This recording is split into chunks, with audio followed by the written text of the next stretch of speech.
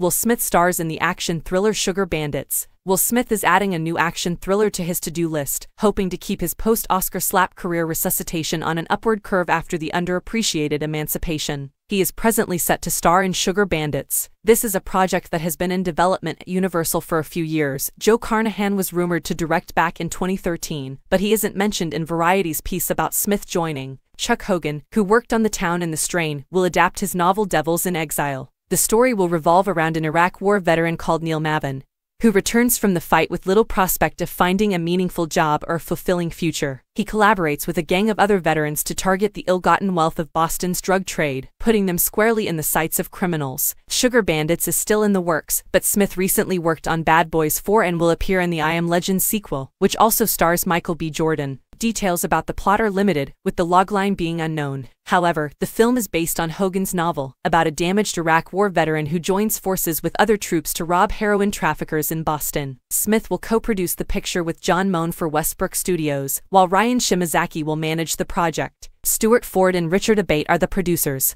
AGC International and CAA Media Finance have worldwide distribution rights.